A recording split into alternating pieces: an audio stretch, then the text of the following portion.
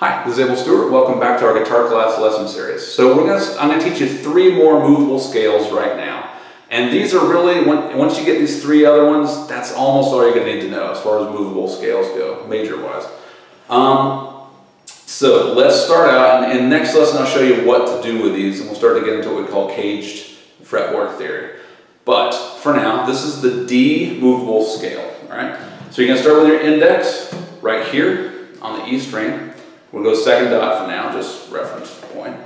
So index, ring, pinky, index, ring, shift back one, index, middle, pinky, index, middle, pinky, shift back, index, ring, pinky, index, ring, pinky. Backwards pinky, index, pinky, ring, index, shift, pinky, middle, index, pinky, middle, index, shift, ring, index, pinky, ring, index. Right. Your scale numbers on this. This is a two, actually. Two, three, four, five, six, seven, one,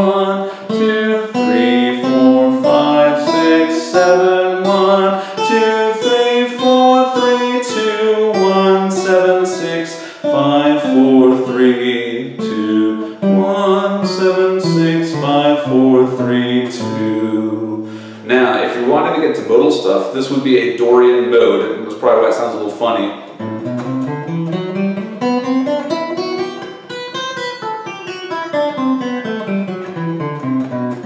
Alright, so know that it starts on the two. Uh, as the scale your one is actually up here on the D string. All right, that's the D-shaped movable scale. Again, next time I'll tell you what to do with that. So, but for now, let's go on the G-shaped movable scale. And what we're going to do for that is uh, our pinky is this is actually going to be our root, our one. Okay. So, but to start, let's put our index finger again on the second dot down, just for reference, kind of arbitrary. All right, so index, ring, pinky, there's my one.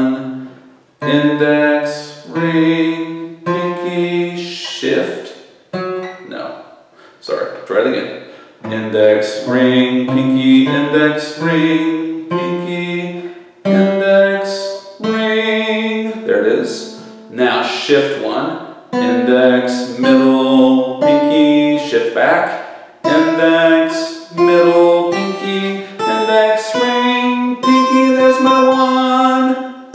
Alright, pinky, ring, index, pinky, middle, index, shift, fret, pinky,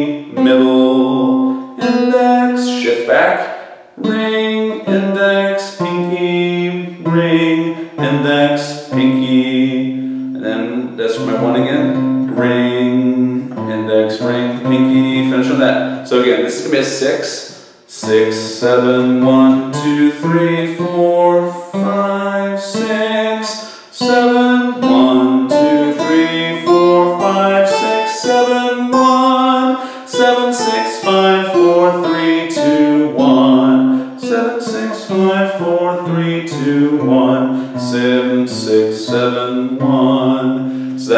G shape. So we covered the D shape, we covered the G shape. Now let me show you the C shape. And again, next time, I'll show you how to put all this together. All right, so just for now, learn it, write it down for reference.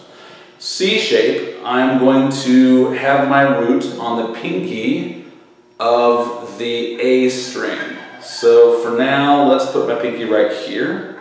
Uh, let's just on the third dot. Again, kind of arbitrary right now. Pinky right here. And so what I'm going to do then is my index, that'll put it between the first and the second dots. We'll just do that for now. Again, somewhat arbitrary. We'll, we'll talk more about later how to put it together. So, start on the index, index, middle, pinky, index, ring, pinky, there's my one,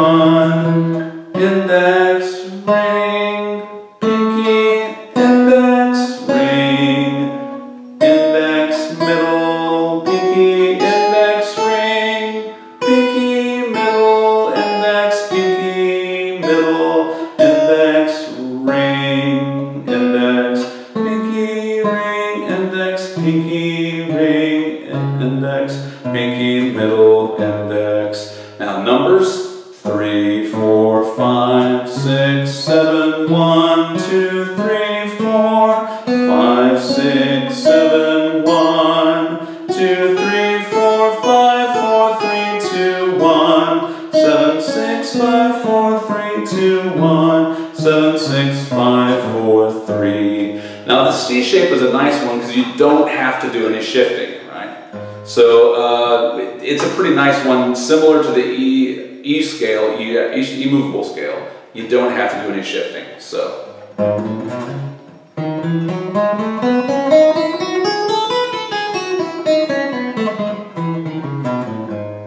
All right, so that's the C-shaped movable scale. Hopefully you've written those down, uh, memorized them, work on that. There is a really good reason for learning these, particularly if you're wanting to learn fretboard theory. All right, so I encourage you write it down, memorize those. Next time we'll talk about how to put those together. All right.